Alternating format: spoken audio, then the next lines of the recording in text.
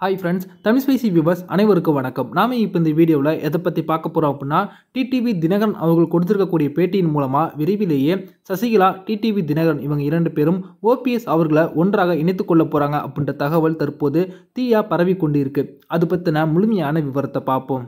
கடந்த சில நாட்களுக்கு முன்பு மதுரையில் செய்தியாளர்களுக்கு பேட்டியளித்த ஓபிஎஸ் அரசியலில் யார் வேண்டுமானாலும் வரலாம். ஏற்றுக்கொள்வதும் ஏற்றுக்கொள்ளாததும் மக்களுடைய விருப்பம்.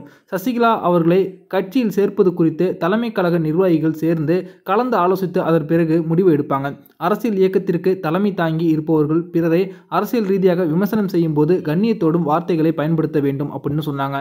இவரது பேட்டி அதிமுகவில் பெரிய சலசலப்பை ஏற்படுத்தியது. இந்த நிலைமையில் மருது சகோதரர்களின் இருநூத்தி இருபதாவது குரு பூஜையொட்டி தஞ்சையில் அவரது திருவுருவ படங்களுக்கு அமமுக பொதுச் செயலாளர் டிடிவி தினகரன் அவர்கள் மலர் தூவி மரியாதை செலுத்தினாங்க. இதனையடுத்து செய்தியாளர்களுக்கு பேட்டியளித்த டிடிவி தினகரன் அவர்கள் தேர்தல் வெற்றி தோல்விகளைக் கண்டு துவண்டு விடுபவர்கள் அல்ல அம்மாவின் பிள்ளைகள். அதிமுக என்ற இயக்கத்தை மீட்டெடுப்பதில் நிச்சயம் நாங்கள் வெற்றி பெறுவோம். சசிகலாவை அதிமுகவில் சேர்ப்பது தொடர்பாக ஓபிஎஸ் சரியான கருத்தையே கூறியிருக்காங்க. எப்போதும் நிதானமாக பேசும் ஓபிஎஸ் சரியாகத்தான் பேசியிருக்காங்க. அமமுக தொடங்கப்பட்டதை துரோகத்தை வீழ்த்தி அதிமுகவை மீட்டு எடுக்கத்தான்.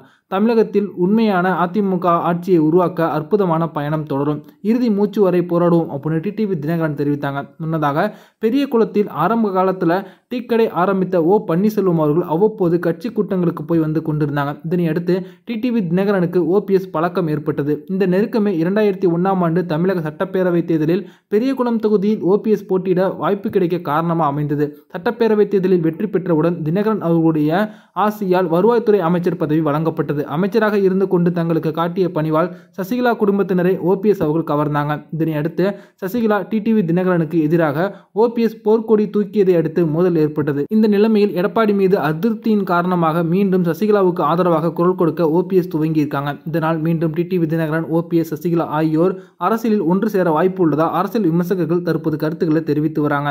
ஓபிஎஸ் அவர்கள் சசிகலா அவர்களுக்கு ஆதரவாக பேசிய உடனே அதிமுகவின் முன்னாள் அமைச்சரான ஜெயக்குமார் அவர்கள் பார்த்தீங்கன்னா தர்ம யுத்தத்தை ஓபிஎஸ் கையில் எடுத்ததே சசிகலாவின் குடும்பத்திற்கு எதிராக தான் அதை அவங்களாம் மனசில் வச்சுக்கொள்ள வேண்டும் அப்படின்னு ஓபிஎஸ்ஐ கடுமையாக விமர்சனம் செய்து பேசியிருந்தாங்க. இதனால் அதிமுகவோட தலைமைக்குள்ள பெரிய சலசலப்பு ஏற்பட்டுச்சு. இந்த நிலைமையில் டிடிவி தினகரன் அவர்களும் ஓபிஎஸ் அவர்கள் எப்போதுமே நிதானமாக தான் பேசுவாங்க அப்படின்னு சொல்லியிருப்பது தமிழக அரசியலில் பெரிய பரபரப்பை ஏற்படுத்தியிருக்கு. இந்த வீடியோ உங்களுக்கு பிடிச்சிருந்துச்சுன்னா லைக் பண்ணுங்கள் ஷேர் பண்ணுங்கள் நன்றி.